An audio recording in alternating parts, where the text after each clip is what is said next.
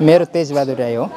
यो ठेगाना चाहिँ कति पर्यो बेलबारी वार्ड नम्बर तिन हजुर। पर होइन त? हजुर। करम डाँडा नै भन्छ?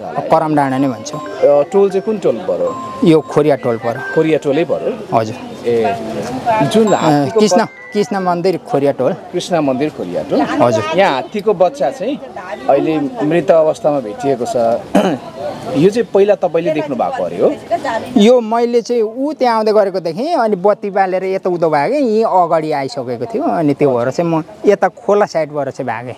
केटाकेटीहरू अब श्रीमतीलाई त्यसरी बच्चा चाहिँ नै आएको थियो।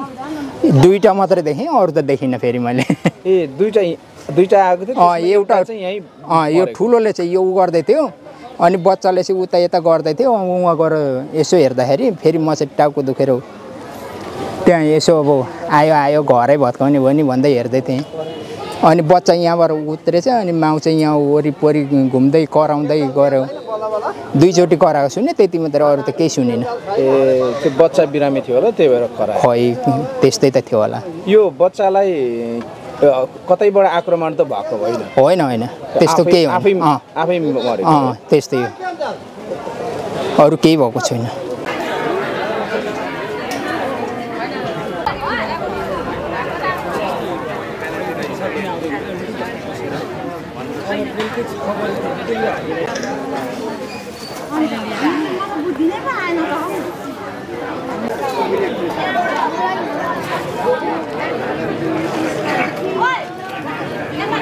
खेती त यही मकै उ गरेको छ।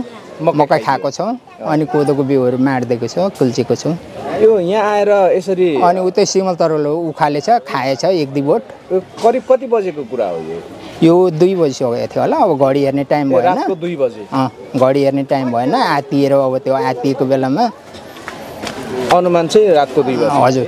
म त्यो मासतिर यहाँ मराउ छ त्यो मराउमा गएको थिएँ अनि त्यो भएर चाहिँ अलिक अबेला आएर सुतेको थिएँ। झन् एघार बजीतिर मात्रै आएँ होला एकछिन बसेर। यो हात्ती मरेको चाहिँ तपाईँलाई थाहा छ? मलाई थाहा भएन। उहाँ छप्परबाट हेर्दाखेरि अरू साथीहरू ऊबाट आउने। परालले न ए पराल ताने पराल तान्नु भन्यो अनि तान्नु नि तान्नु भने मैले। अनि लाइटरले भनेर भन्यो अरू साथीहरूले चाहिँ। अनि लाइटर छैन मसँग त लाइटर के को आत्तिएर म यहाँ कुदेर आइपुगेँ भने। अनि लाइटर बालेर आगो यत्र यत्र पुल्ठो बनाउनु भएछ। मासतिरको साथीहरूले अनि त्यहाँ होइन एउटा त यहाँ सुतिरहेको छ यहीँबाट रहेछ भन्यो फेरि म झर्दै झरिनँ म चाहिँ बिमारी भएर हो, टाउको दुखेर अब त्यही भएर नसोको बिमार छ त्यसले। ए सुतिरहेको छ भने भरे मरेको अँ मरेको रहेछ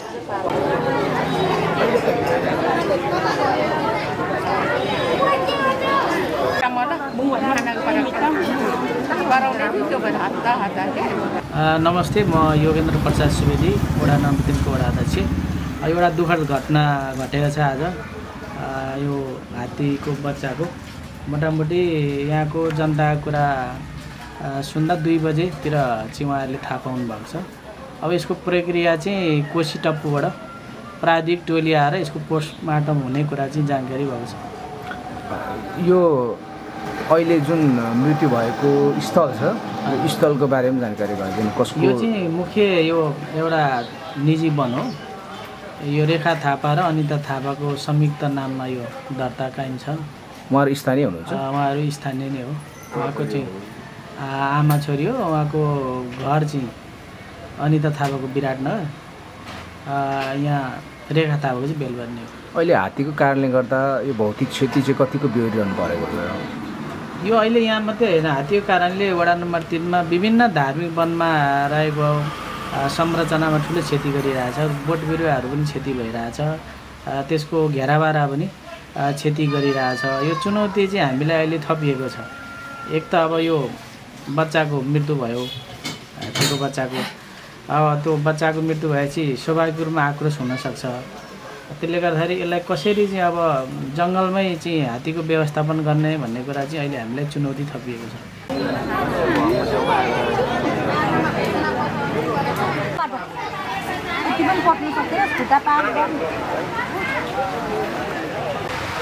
यो पनि खाएको रहेछ नि। यो पनि खाएको